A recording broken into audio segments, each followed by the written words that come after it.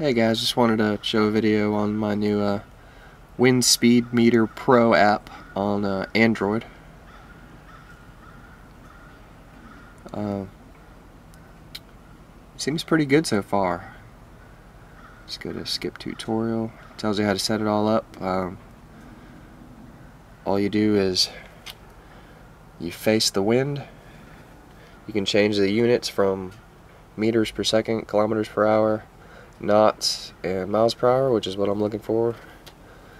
Um, let's see if we got any wind. Probably going to lose visual because of reflections. Alright. Wind's coming from there. Hit start. There's really no wind right now. A little breezy here and there. Seems to be quite accurate. Uh, it seems like the wind's coming from right here. Really nothing right now. Anyways, guys, um, probably a pretty useful app to pick up uh, while I'm moving now.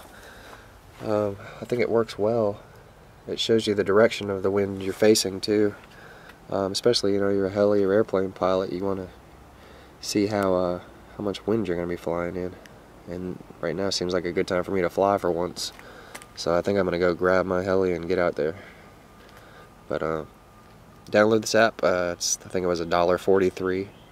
I mean, it seems pretty accurate. I've been checking it against the the weather, um, live weather reports, or as up to date as they have them, and uh, seems pretty accurate. So check it out.